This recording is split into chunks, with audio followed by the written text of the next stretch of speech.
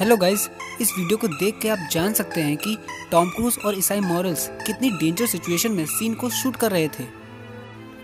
जितनी तेज़ी से ट्रेन चल रही है, इस सिचुएशन में खड़ा होना भी अपने आप में एक चैलेंज है। बट टॉम और ईसाई ने इस मिशन को कंप्लीट किया।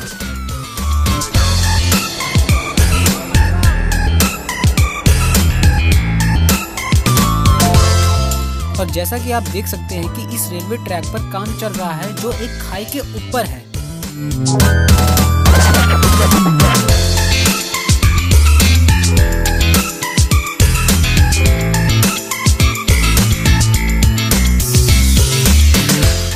फर्दर अपडेट्स के लिए please please please subscribe my channel thank you